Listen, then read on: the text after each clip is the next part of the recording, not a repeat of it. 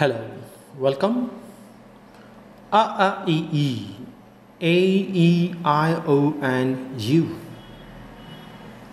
இது சேலம் சுந்தர் சேலம் சுந்தர் இந்த English academy அரடை ஆங்கிலம் இவ்வளவு ஈஸியா என்று நீங்கள் எண்ணக்கூடிய அளவுக்கு உங்களுக்கு பாடத்தை சொல்லிக் கொடுக்கக்கூடிய and English institute only for you is the English academy சரி இன்று episode 17 excuse versus excuse.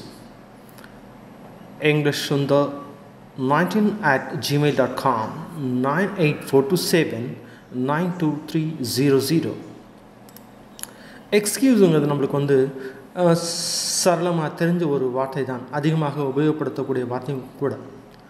Extremely sorry so I stepped on your toes not a deliberate one excuse me sir please extremely sorry sir நான் ரொம்ப வருத்தப்படுறேன் sir I stepped on your toes காலம் மிதிச்சிட்டேன். Not a deliberate one வேணும்லாம் செய்யலை sir excuse me sir please மன்னிச்சிடுங்க sir அப்படிங்க. So இந்த மன்னிப்பு உங்களுக்கு தெரிஞ்சது தான்.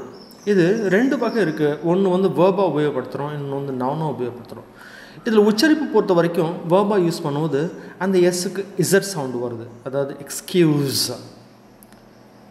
நவுனை யூஸ் பண்ண எக்ஸ்கியூஸ் அவ்வளோ அங்கே எஸ் சவுண்டு தான். ஸோ ஒரு வேர்பாக யூஸ் பண்ணும்போது பேர்டன் மன்னித்தல் மன்னிப்பு இறை கேட்டல் மன்னிப்பு கொடுத்தல் ரெண்டுக்குமே ஒன்று தான். So excuse pardon forgive apologies இவை நான்கும் ஒரு சினானிமஸ் வேர்ட் தான். ஒரு ஒத்த கருத்துடைய ஒத்த பொருளுடைய வார்த்தைகள் தான். இதில் வந்து இந்த ஃபர்கிவ் apologize மட்டும் ஒரு சடல் டிஃப்ரென்ஸ் இருக்குது அது போக போக நீங்கள் தெரிஞ்சுக்கலாம்.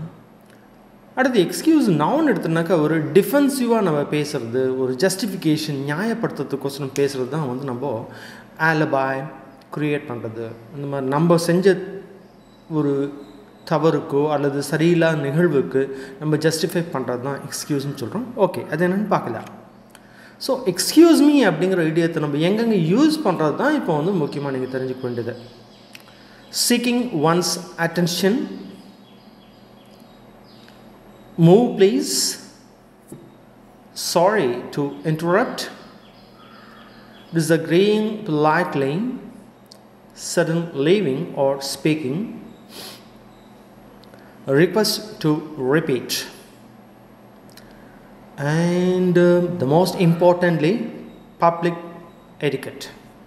Public etiquette ஒன்று பார்க்கலாம். Excuse me sorry for the disturbance இந்த அட்ரஸ் எங்கே இருக்குன்னு சொல்கிறீங்களா அப்படின்னு இவர் கேட்குறாரு. உங்களுக்கு தெரியும் இந்த சூழ்நிலை எங்கே வந்து சார். ஸோ ஒருத்தர்கிட்ட நம்ம நம்ம ஏதோ ஒன்று விசாரிக்கிறது முன்னாடி அவங்களோட அட்டென்ஷன் ஃபஸ்ட் நம்ம பக்கம் திருங்கன்னா எக்ஸ்கியூஸ் மீ சொன்னால் போதும். அப்படின்னாவே வந்து ஐயா இங்கே பாருங்கள் நான் சொல்கிறத கேளுங்கன்னு அர்த்தம். அதுக்கு தான் இந்த எக்ஸ்கியூஸ்விங்கிற இடியம் நம்ம இங்கே யூஸ் பண்ணுறோம் அடுத்து டியூ மைண்ட் மூவிங் ப்ளீஸ் நம்ம நடந்து போயிட்டுருக்கோம். ஒருத்தங்க வந்து இடையில நிற்கிறாங்க அவங்க நவுங்க நவருங்கன்னு சொல்கிறதுக்கு பல வகைகளில் சொல்லலாம். அதில் இது ஒரு வகை. இதெல்லாம் இல்லாமல் சிம்பிளாக ஒத் ஒத்த இடியம். எக்ஸ்கியூஸ் மீ ஆம் சொன்னால் கூட போதும். அவங்க நவுந்துப்பாங்க. அடுத்து sorry to interrupt excuse me what's a procedure to change the room ஏன்னா அவங்க மூணு பேரும் பேசிகிட்டு இருக்காங்க இந்த தம்பி வந்து உங்களுக்கு தெரியும் இந்த சீன் எதில் வந்திருக்குன்னு சொல்லிட்டு உங்களுக்கு நல்லாவே புரியும். ஸோ அடுத்தவங்க முன்னே நம்ம தொந்தரவு பண்ணுறதுக்கு முன்னாடி அவங்க பேசுகிற நடுவில் இடையில பேசுறதுக்கு முன்னாடி இப்படி சொல்கிறது வழக்கம். எக்ஸ்கியூஸ்னு சொன்னால் போதும். அடுத்து could you repeat that please ஐயா அவங்க சொன்னது உங்களுக்கு புரியலை. அல்ல காதில் விழலை. அல்ல அவங்க பேசும்போது ஏதாவது வேற ஒரு சத்தம் வந்து அவங்க என்ன சொன்னாங்கன்னு புரியாமல் காதில் விழாமல் போச்சு அப்போ திருப்பி சொல்லுங்கிறதுக்கு சிம்பிளாக எக்ஸ்கியூஸ் மீன்னு சொல்லலாம். அல்லது பேர்டன் பேர்டன் அப்படின்னு சொல்லலாம். பேர்டன் அழகாக சொல்லலாம். பேர்டன் என்றாலே ஐயா மன்னிச்சுக்கோங்க. கொஞ்சம் திருப்பி சொல்லுங்கள் என்றதான் அர்த்தம். இதெல்லாம் டெலிஃபோனில் நம்ம பேசும்போது அடிக்கடி நம்ம இதை உபயோகப்படுத்த வேண்டிய சூழ்நிலைகள் ஏற்படலாம். அடுத்து உலகத்தில் நம்ம ரொம்ப எப்போ ரொம்ப அழகாக இருப்போம்னாக்கா கொட்டாய் விடும்போது தான் கண்ணாடி முன்னாடி கொட்டாய் விட்டு பாருங்கள் தெரியும். அதுலேயும் பத்து பேர் இருக்கிற இடத்துல நம்ம கொட்டாய் விடும்போது அங்கே தான் அந்த சபை நாகரிகம் ஒன்று எட்டிக்கட் டெக்கோரம் என்று சொல்லலாம். ஒரு சபை நாகரிகத்தை யான் பண்ணும்பொழுது அதாவது கொட்டாய் விடும்போது வாயை லைட்டாக மூடிட்டு கொட்டாய் விடுறது நல்லது. அதே மாதிரி ப இப்படின்னு ஏப்பம் விடுறோம் இல்லையா? ஸோ அப்போல்லாம் வந்து அந்த ஏப்பம் விடும்போதும் நம்ம எக்ஸ்கியூஸ்னு சொல்கிறது நல்லது. அதே மாதிரி ஹச்சுன்னு நம்ம தும்புகிறோம் ஸ்னேசிங் அந்த சமயத்துலேயும் தும்பி முடித்தோடனே எக்ஸ்கியூஸ்னு சொல்கிறது ரொம்ப அழகான நாகரிகம். அடுத்து இந்த டேபிள் மேனர்ஸ்னு சொல்லி சொல்கிறோம் நம்ம வந்து நிறைய பேர் எல்லாம் விருந்தில் போய் பேச விருந்தில் கலந்துக்கிறோம். அப்போ கலந்துக்கும் பொழுது நம்ம உட்காந்து சாப்பிட்டுட்ருக்கோம் நம்ம பக்கத்தில் நம்ம சாப்பிட்டு முடிச்சிட்டோம். இப்போ எந்திருக்கணும். நம்ம பக்கத்தில் இருக்கவங்க நம்மளோட சின்னவங்களாக இருந்தாலும் சரி பெரியவங்களாக இருந்தாலும் சரி ஐயா நான் சாப்பிட்டு முடிச்சிட்டேன். எந்திரிக்கிட்டுங்களா? அப்படின்னு ஒரு ஒரு நாகரிகத்தோட excuse me can I get a அப்படிங்கிறோம். கேன் ஐ வாய்ண்டா அப்போ எக்ஸ்கியூஸ் மீ சொன்னால் போதும். அது ஒரு நல்ல ஒரு பண்பு. அடுத்தது நவுன் எக்ஸ்கியூஸ் என்ற ஒரு நவுன் இங்கே தான் என்ன தோணுதுன்னா whenever he has not completed his homework அவன் வீட்டு வேலையெல்லாம் ஹோம் ஒர்க்லாம் பண்ணல அப்படின்னா ஏன்டா பண்ணலன்னு கேட்டால் his simple and idiotic excuse would be always severe stomachache பயங்கரமாக வயிறு வலிச்சு அதனால் பண்ணலை அப்படின்னு சொல்லி சொல்லுவான். இது வந்து ஒரு எக்ஸ்கியூஸ் ஒரு சாக்கு. It is not a reason so இந்த இடத்துல நவுன் எக்ஸ்கியூஸுங்கிற நவுனுக்கு டிஃபென்ஸ் ஜஸ்டிஃபிகேஷன் ஆலபாய் என்று பொருள் கொள்ளலாம். இன்னும் கொஞ்சம் தெளிவாக சொல்லணும்னா நீங்கள் லேட்டாக வரீங்க கேட்குறேன் ஏன்ட்டு? சார் டிராஃபிக் ரொம்ப பயங்கரமாக இருந்துச்சு சார். சரி இது ஒரு நல்ல காரணம்.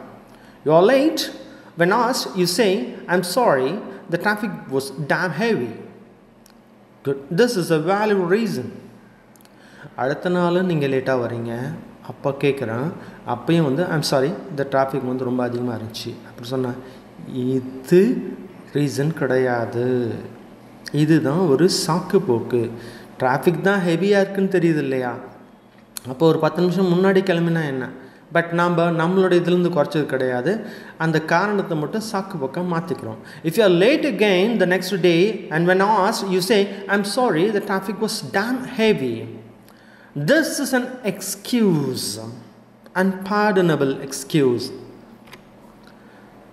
Excuses don't get results நம்ம வாழ்க்கையில் ஏதாவது ஒரு காரியத்தை செஞ்சு அது நல்ல பலன் பண்ணணுன்னாக்க நம்ம எந்த விதமான சாக்கு போக்கும் வச்சுருக்கக்கூடாது இருந்தால் சரியான பலன் கிடைக்காது.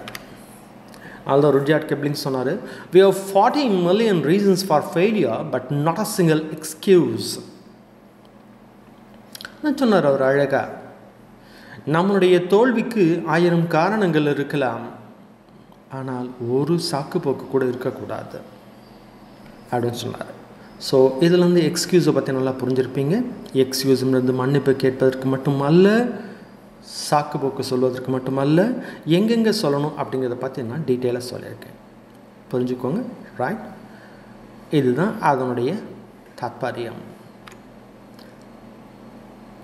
Thank you please pass your comments your comment is the vitamin correct me if I am wrong thank you once again see you soon Englishly Yas Sundarraj P.